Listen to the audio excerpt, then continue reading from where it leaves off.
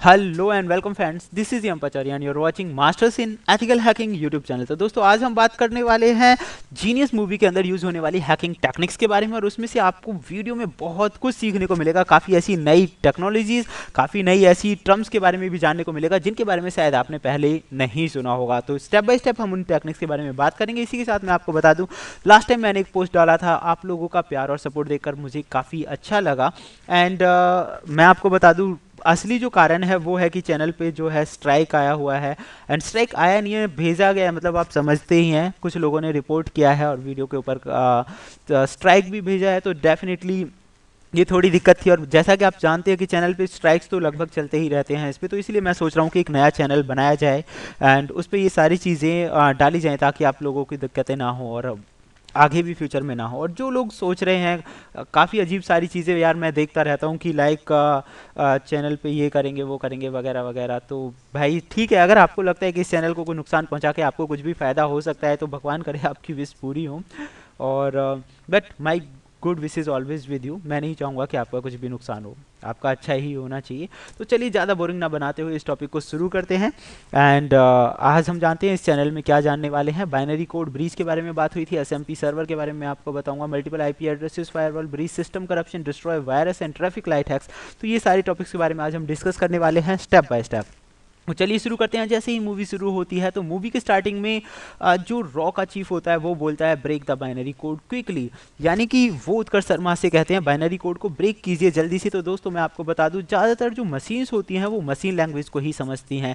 And zero and one binary numbers is one of the मान लीजिए कि आप कुछ भी इनपुट कराते हैं, मान लीजिए आपने ए इनपुट कराया तो मशीन उसे समझेगी zero one zero zero zero zero zero one यानी कि वो सीधा ए सब नहीं समझेंगे, वो इसे बाइनरी फॉर्म में समझेंगे, लेकिन जब आपको आउटपुट मिलेगा तो वो बाइनरी फॉर्म में ही मिलेगा। अब यहाँ पे बात हो रही थी बाइनरी कोड को ब्रीज करने के बारे में, जो कि उत्कर्ष शर्मा नहीं करते हैं, कोई रेस्पॉन्स नहीं देते तो मैं आपको बता दूँ बाइनरी कोड ब्रीज करने में काफ़ी टाइम लगता है। बाइनरी कोड ब्रीज करने का मतलब था कि उन्हें बाइनरी नंबर्स मिले होंगे, मान लीजिए zero one zero one zero, इस तरह के तो उन्हें एक पर्टिकुलर वर्ड में कन्वर्ट करना था। पर्टिकुलर वर्ड का मतलब यहाँ पे है आ, वो आपको उसके लिए आज के आज की नंबर्स या आज की टेबल्स आपको देखनी पड़ेगी जो कि इंटरनेट यानी कि गूगल से आपको आसानी से मिल जाएगी। American standard code for information interchange तो इसमें क्या होगा ज़ीरो वन ज़ीरो वाले कोड से आपको वर्ड बनाने हैं जैसे कि जो अभी मैंने कोड दिया इससे बन गया ए और जो उनको मिले हुए कोड से उनसे कुछ बनता तो उनसे मिला के एक शब्द तैयार करना था वर्ड तैयार करना था या कोई भी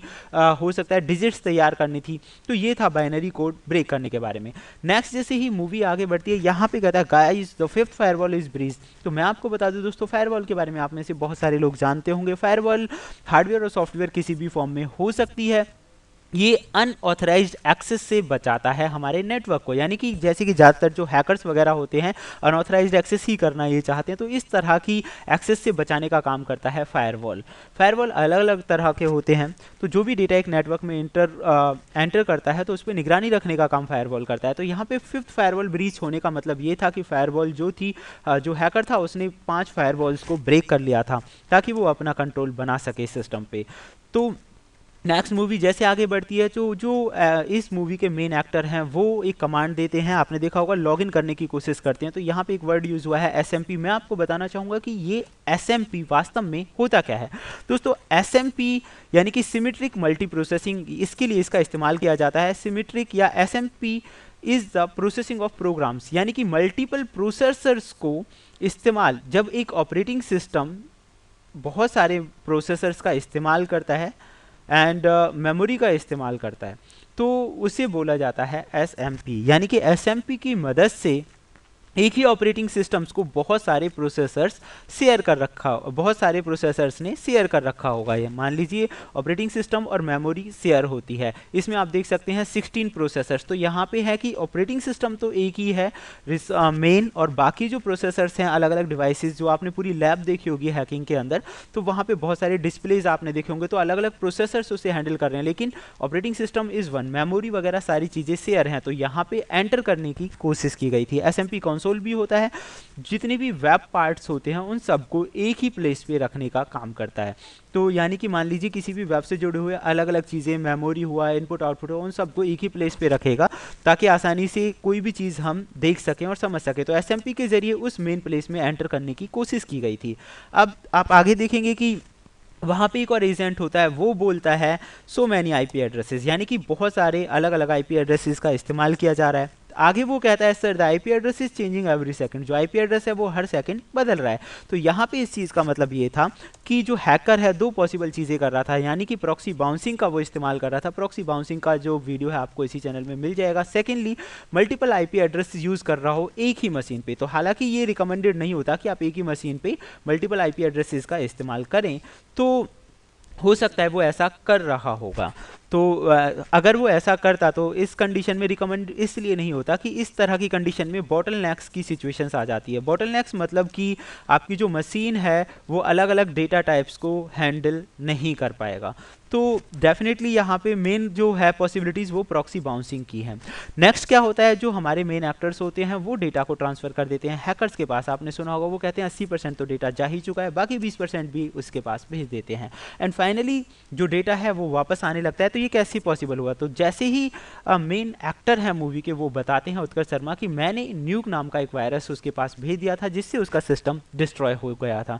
तो मैं अब आपको बताना चाहूँगा कि वास्तव में न्यूक वायरस है क्या? दोस्तों न्यूक वायरस अपने आप में एक प्रोग्राम ही है और इसका मेन काम होता है take over the system nodes जो सिस्टम के नोड्स होते हैं, जिन लोगों ने नेटवर्किंग पढ़ी है, वो बखूबी समझते हैं नोड कंप्यूटर भी हो सकता है। तो सिस्टम नोड्स को टेक ओवर कर लेता है। और इसकी डिटेक्शन के चांस होते हैं हंड्रेड परसेंट डिटेक्टेबल है, लेकिन पहले जैसे ही ये एंटर करता है तो स्टिल्थ कंडीशन में एंटर करता है। स्टिल्थ कंडीशन में एंटर करने का मतलब है कि ये इस तरह से एंटर करता है कि डिटेक्ट ही कोई इसे ना कर पाए और जब तक फायरवॉल और दूसरी चीज़ें से डिटेक्ट कर पाए, तब तक ये अपना काम कर चुका होता है। तो न्यूक वायरस अपने आप में इसे क्रिएट करना, बनाना बहुत ज़्यादा डिफ़िकल्ट नहीं है। हालाँकि मैं आपको यहाँ पर प्रैक्टिकली नहीं बता सकता बट आप समझ गए होंगे कि जिस भी सिस्टम में ये जाता है, उसे पूरी तरह से करप्ट कर देता है डिस्ट्रॉय कर देता है, जिसकी वजह से जो डेटा है, वो वापस आने लगता है। इसी मूवी का एक जो सीन है, वो मैं मिस कर गया, मैं आपको बता दूँ। एक टाइम पे जो इस मूवी के मेन एक्टर हैं उत्कर्ष शर्मा, वो ट्रैफ़िक को जाम कर देते हैं ट्रैफ़िक सिग्नल्स को हैक कर लेते हैं। तो आपके माइंड में ज़रूर आया होगा कि ये पॉसिबल है। तो मैं आपको बता दूँ, दोस्तों, ये बहुत ही आसान और पॉसिबल है। बिकॉज़ ये मैं नहीं कह रहा हूँ यूनिवर्सिटी ऑफ़ मिकेगन के computer scientist J Alex Halderman ने नेटवर्क जो ट्रैफ़िक लाइट थी, उसके अंदर की तीन नेटवर्क ट्रैफ़िक सिस्टम्स की तीन वलनबिलिटीज़ के बारे में बताया था, जो कि अभी भी बनी हुई हैं। जैसे कि अन अनइनक्रिप्टेड रेडियो सिग्नल्स होते हैं। दूसरा है factory default user name and passwords का इनमें इस्तेमाल किया जाता है तो factory default user name and password से आसानी से हैक हो जाता है। तीसरा है डी बगिंग पोर्ट एक पोर्ट होती है डी बगिंग पोर्ट जिसकी मदद से आसानी से अटैक किया जा सकता है और इन्हें हैक किया जा सकता है। और साइबर क्रिमिनल्स और ज़्यादातर यंग हैकर्स इसका इस्तेमाल करते हैं। तो दोस्तों, अगर आप चाहते हैं ट्रैफ़िक लाइट हैकिंग पे मैं कंप्लीट वीडियो बनाऊँ, पूरी डिटेल्स के साथ कि इसमें कौन सी चीज़ें होती हैं कौन सी नहीं, किस तरह के इंस्ट्रूमेंट्स का इस्तेमाल किया जाता है तो आप मुझे कमेंट बॉक्स में कमेंट करें। एंड आई वॉन्ट कि आप वन थाउज़ेंड लाइक तो भेजेंगे ही भेजेंगे। तो प्लीज़ मैं वेट करूँगा कि इस पर वन थाउज़ेंड लाइक आए, ज़्यादा से ज़्यादा शेयर करें। और देखते रहें YouTube channel masters in ethical hacking thank you friends good